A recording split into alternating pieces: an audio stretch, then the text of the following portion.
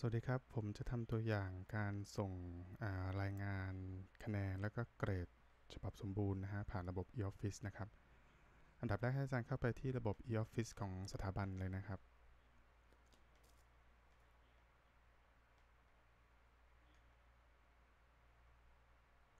จากนั้นก็ใช้ username นะฮะ generation 2 นะฮะ คลิกเข้าไป ล็อกอินเข้าไป พอเข้ามาในหน้าระบบ e-office แล้วนะฮะ อาจารย์จะเห็นคำว่าสร้างขีดส่งอยู่ข้างบนนี้นะครับ คลิกเข้าไปเลยครับ มองมาทางซ้ายมือนะฮะ ตรงนี้มีคำว่าบันทึกข้อความวงเล็บภาษาไทยนะครับ อาจารย์คลิกเข้าไปตรงนี้นะครับ มาทางขวามือนิดนึงนะครับ ก็ตรงสร้างเอกสารบันทึกข้อความภาษาไทยนะครับ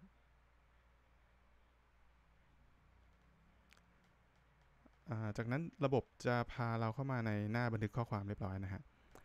อาจารย์เลือกคำว่าหน่วยงานครับ ตรงหน่วยงานเนี่ยให้กดตรงคำว่าเลือกนี้นะครับ มันจะมีวินโดว์เล็ก ๆ ขึ้นมาให้เราเลือกหน่วยงานภายในสถาบันนะครับ เราก็เลือกหน่วยงานที่เป็นคณะสถาปัตย์นะฮะ พอเจอคำว่าคณะสถาปัตยกรรมศาสตร์เนี่ยให้อาจารย์เลื่อนลงมาหนึ่งบรรทัดนะครับ จะพบคำว่าส่วนสนับสนุนวิชาการให้เลือกตรงนี้นะครับ แล้วก็กดยืนยันการเลือกโอเคช่องต่อไปคือช่องที่อยู่ข้างหลังคำว่าที่เนี่ยนะฮะให้อาจารย์คลิกเข้าไปนะครับ ก็จะมีเมนูให้เราเลือกนะฮะมันจะเป็นเลขอ่ามันจะเป็นเลขที่อวนะฮะอย่างแบ่งตามภาควิชาละ ก็อันนี้อของผมสอนอนะฮะสถาปัตยกรรมภายในผมก็จะเลือกอันนี้ ส่วนเรื่องต่อไปเป็นช่องของคำว่าเรื่องเนี่ยนะฮะให้อาจารย์ทำตามตัวอย่างทางที่ทางสำนักทะเบียนส่งมานะครับ ก็ตัวอย่างอยู่ซ้ายมือนี้นะฮะหกสองขีดสองเนี่ยนะฮะก็ปีการศึกษา 62 ภาคเรียนที่ 2 ขีด สถาปัตยกรรมนะครับ คณะ สถาปัตยกรรมศาสตร์ขีด ต่อไปตัว B ตัว B ย่อมาจากปริญญาตรีนะฮะ bachelor แล้วก็ขีดถ้าเป็นปริญญาโทก็ M M man นะฮะ ถ้าเป็นตัวตัว D ก็จะแทนด็อกเตอร์ปริญญาเอกนะฮะ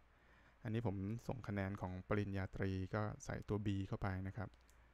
ข้างหลังตัว B จะเป็นเลขรหัสวิชา อันนี้ผมยกตัวอย่างนะฮะ เป็นรหัสวิชา 8 ตัวนะครับ จากนั้นก็ขีดนะฮะ G อาจารย์จะเห็นตัวอย่างในตัวอย่างก็เขียนคำว่า G อ่าตัวอย่างคือตัวหนังสือ G ใช่ไหมฮะ G คือกลุ่มเรียนนะครับ ก็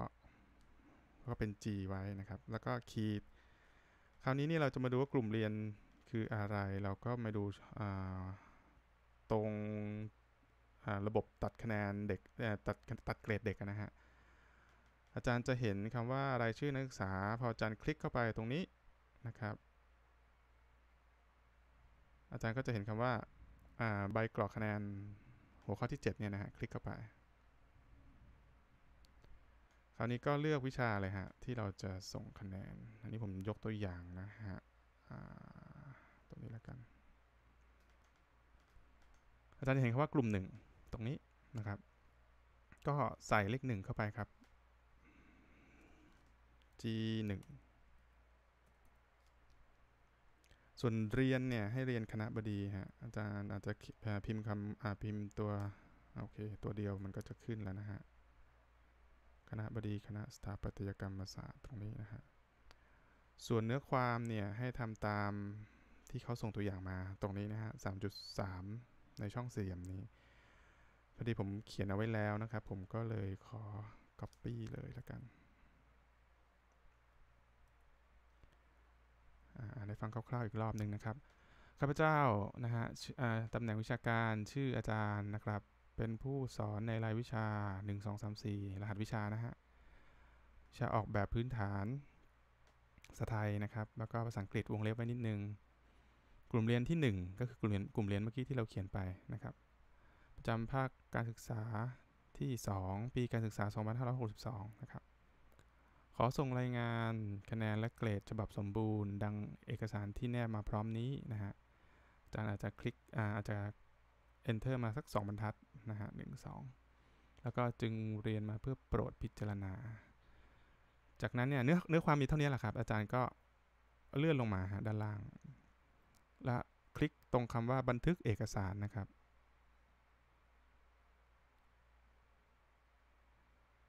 ที่เราต้องบันทึกเอกสารก่อนเนี่ยเพราะว่าระบบถึงจะยอมให้เราแนบไฟล์ตัวที่เป็น PDF นะฮะฉบับสมบูรณ์ตรงนี้นะฮะอาจารย์เห็นคำว่าสิ่งที่ส่งมาด้วย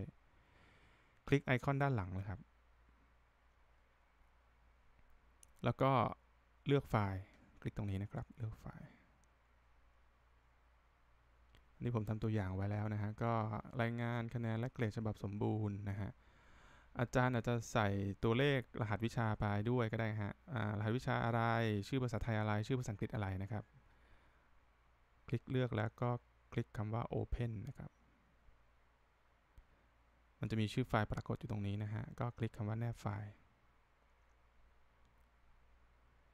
อาจารย์จะเห็นไฟล์ที่แนบมาอยู่บนนี้แล้วนะครับ PDF นะฮะ ถูกต้อง ชื่อคนแนบนะครับ ตรงนี้แก้ไขได้นะฮะ อาจจะแก้ไขชื่อ หรือไม่ก็ลบไฟล์แล้วก็อัปโหลดใหม่นะครับตรงนี้เนี่ยพอเสร็จว่ามันขึ้นมาบนนี้ละ เห็นว่ามันเป็นไฟล์ PDF ที่เราแนบแล้วเนี่ย อาจารย์ปิดหน้าต่างเลยครับ คลิกตรงปิดหน้าต่าง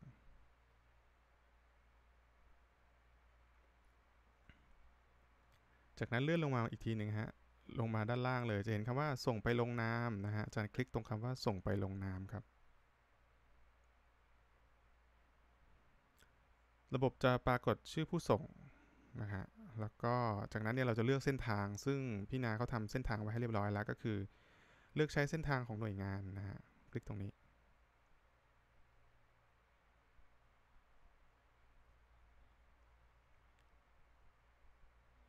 จากนั้นเลื่อนลงมาข้างล่างเลยครับ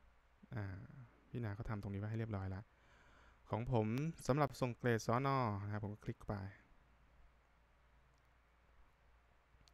ระบบก็จะโชว์มาว่าจากผู้ส่งซึ่งคือก็คือคือตัวเราแล้วเนี่ยจะไปที่ไหนนะฮะก็คือไปที่หัวหน้าภาคนะครับ แล้วก็ไปที่พี่นานะฮะ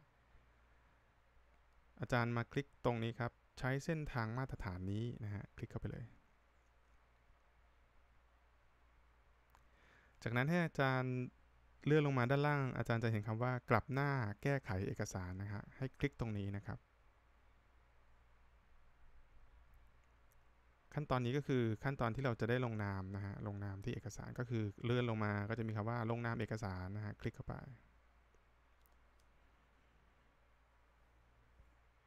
จะเห็นว่าระบบจะโชว์ว่าเช็คให้เราเช็คอีกทีนะฮะผู้ส่งคือใครส่งต่อไปคือหัวหน้าภาคนะฮะแล้วก็ไปที่พินานะฮะจากนั้นคลิกตรงนี้ครับอาจารย์ลงนามและส่งเอกสารตามเส้นทางข้างต้นนี้นะฮะ เราลงนามในฐานะอะไรนะฮะส่งคะแนนก็เป็นในฐานะอาจารย์นะครับ ก็คลิกตรงอาจารย์ตรงนี้แล้วก็ลงนาม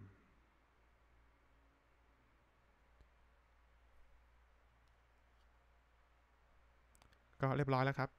มีเท่านี้เองนะขั้นตอนก็คือจะเห็นเลขอวเรียบร้อยนะฮะ เห็นชื่อเรื่องตามที่ทางสำนักทะเบียนกลางเขาส่งมานะฮะ ให้เป็นระบบตามนี้ เรียนคณะบดีนะครับ เช็คนิดนึง วันที่เท่าไหร่ที่ส่งเอกสาร ตรงนี้เป็นสถานะในการส่งว่าตอนนี้เอกสารถึงใครแล้วนะครับ